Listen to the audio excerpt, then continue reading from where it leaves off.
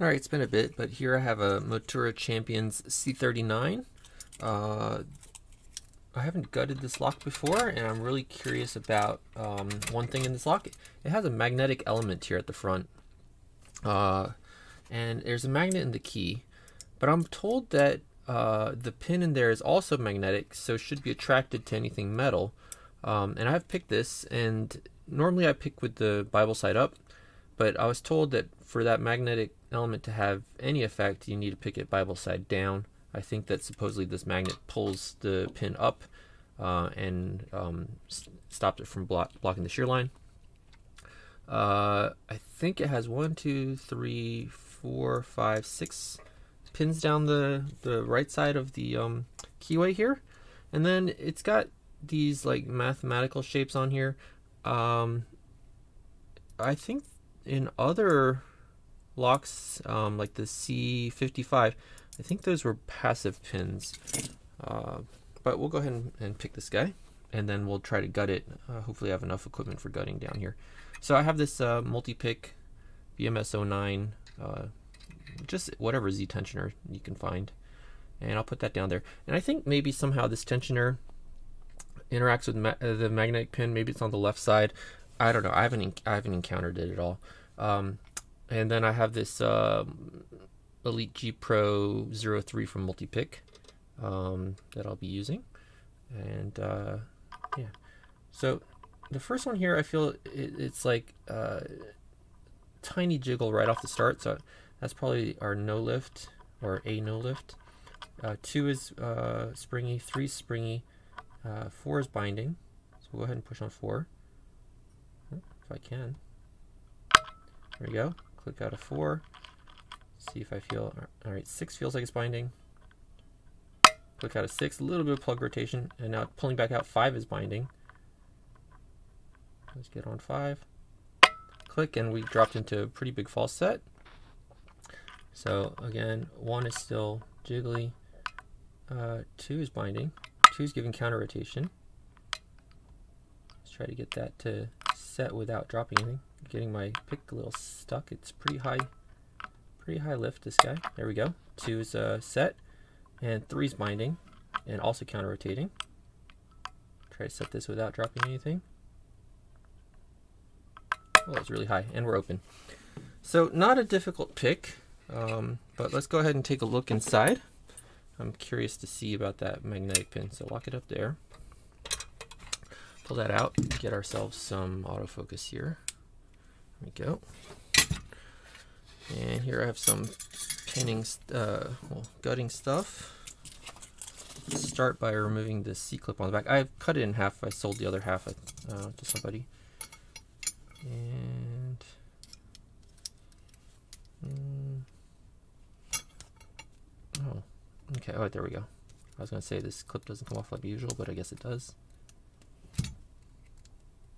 Come on. There we go. Clips off. It's usually the hardest part. Um, and usually when approaching a lock I know nothing about, it's always smart to try to shim. Uh, don't want to go left or right. I'll go that way. I don't know. Uh, it has a little gap around here for the for the C-clip. Stuff could drop into there. Stuff can drop all over. So it's first time you're approaching a lock. Every time usually you should use a shim, but once you get to a lock, maybe you realize that you can get away without it. But it's always safer to use a shim. So let's see.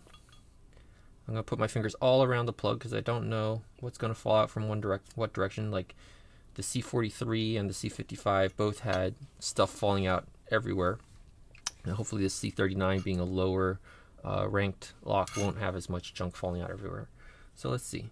Um, on the bottom we have Looks like a pin there, a pin there. And I don't know what this stuff in the middle is. It's like little minus signs. Maybe that's the passive pins. We'll see when we go there, but let's see if we can drop some stuff out the bottom here. Okay, there's pin number five. Um, looks like a normal pin with a spike on it or something. So that's a passive five on the bottom there. Four had a three. So these all have like a Oh, that one has like a a plus sign on the top. Let's see this one. This one has like a minus sign on the top or divide sign, whatever. And these ones have lines on the bottom, whereas that one, uh, I, I, don't, I don't understand the rhyme or reason for a lot of these things. Uh, these passive pins. Another one with like a, a, slash on the top. And then the first one uh, looks a lot like the, the fifth one. So those are five passive pins. Let's see, anything on this side of the lock? Well, maybe. So the side of the lock also has, looks like three passive pins and then two empty two empties. Mm, let's pull the key out. And we'll, we'll get to those after because they don't they don't seem to want to fall out. All right, something fell out here. Oh, something fell out there. All right, so that's number five from the side. And it looks like uh, I had number four um, got stuck to my finger with sweat or something. Oh no, it's four. It's number five.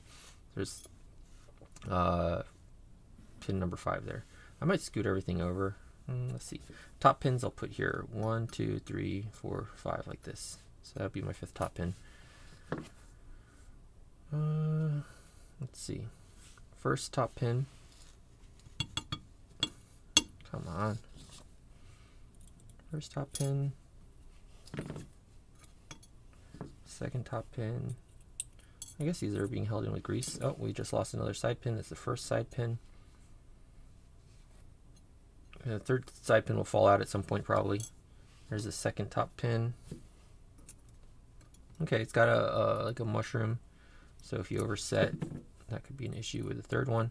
The third one was a really high set, so I don't I don't see over oh second one, sorry. Second one is really high set. I don't see oversetting that or the third one. Those were like max lifts or something. Let's see. look at the key. Um, so first one was uh, basically no lift. Second one was almost max. Third one was max. So yeah, we, we definitely experienced that uh, in the pick. All right, the fourth pin is another standard here. Standard key pin. And the sixth pin. Another standard key pin here. And then I think we're just missing that, that third, there we go, third, third passive side pin here. So these are the side pin, uh, bottom pins one, two, three, four, five. Side pins one, nothing, three, nothing, five, and then the, the top pins. Um, looks like two drill protection uh, rods there. It looks like some construction keying holes here that I had no uh, construction bitting here. All right, something viable. Hopefully we'll run into the magnetic pin in here. I don't see where it would be. Let's take this shim out. All right, pin one on the Bible is just a standard. Pin two is a spool. We felt that. Uh, just nothing special spool. It's uh, the same either direction. Like if you put it in upside down, it should be fine. Uh, it has no upside down, rather. Third one is also spool, but like in a brass color. Whereas the rest are all this kind of uh, steel color probably like nickel coated um, nickel coated brass pins is my guess or something like that all right pin 4 is a standard pin 5 we're getting pretty far back here is the standard and then pin huh? oh huh? uh-oh that is oh all right that's pin. This is six or something. Because there's spring six, and then I can see down in there. There's something in five. There's something in five. Okay, and it sticks to. It sticks to this. In the world. Oh, oh, okay. So the the pin itself, like they like people were telling me, is magnetic It sticks right there to, to pin 5. Um, I did remember setting pin 5. So, uh, how does this work? Um, this would be together like that. It had no spring. So if I put that in chamber 5, it sits like that. uh, it barely sticks into the keyway. Let's get a little closer in on this. So it barely sticks into the keyway, and that will block you from opening. When I go to pick it, oh, is it attracted to the other side of the plug usually? All right, we're gonna try this guy this guy out on his own. Oh wait, something just fell out again. Where'd that fall out from? Where did I might have to look at the video to see where that that just that just fell out from somewhere. Uh, oh no, wait, look at that. That goes all the way down. Uh oh. Let's see if I can get it back out again. Nope, it can't. So I'm gonna have to take a magnet or something. So I I don't know what's going on here.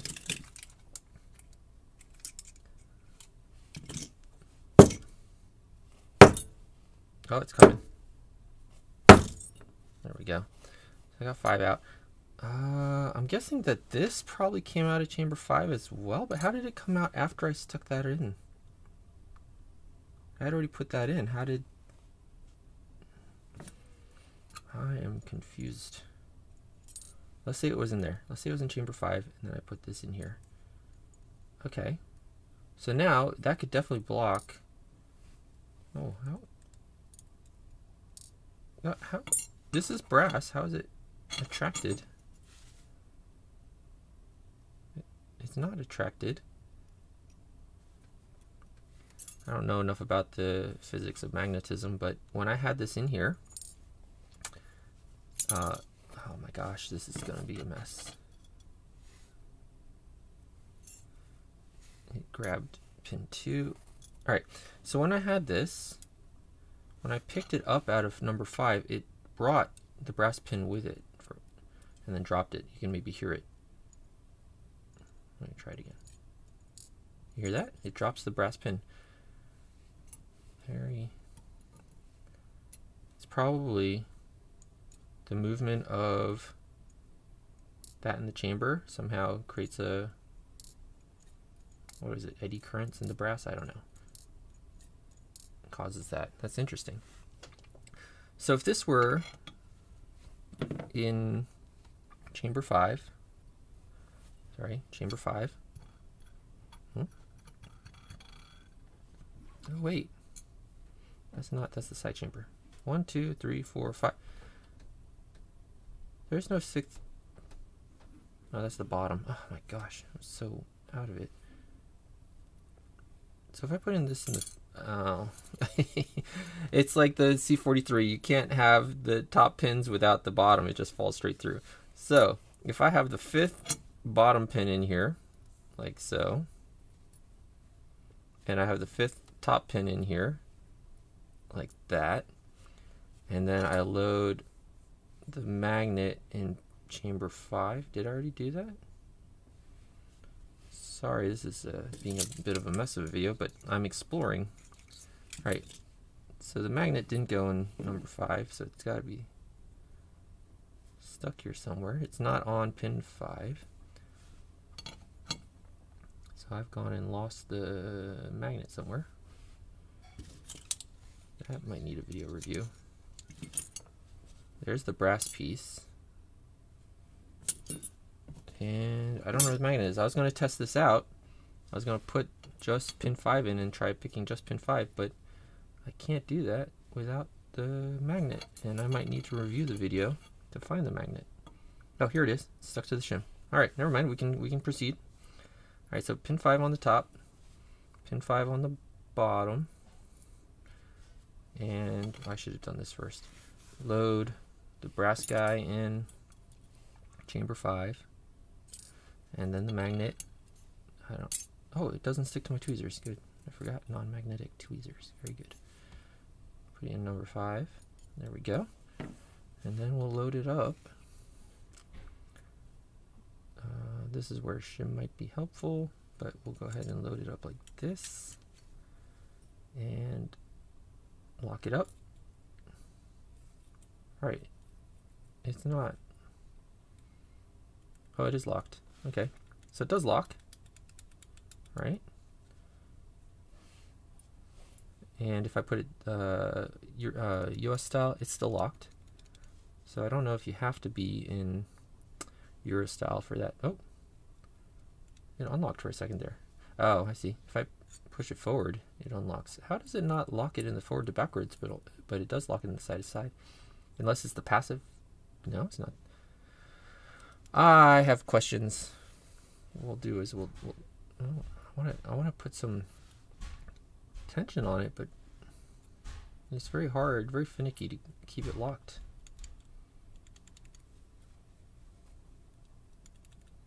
It's locked there.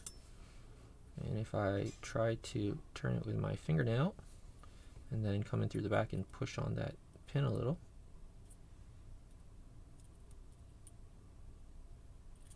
Nope.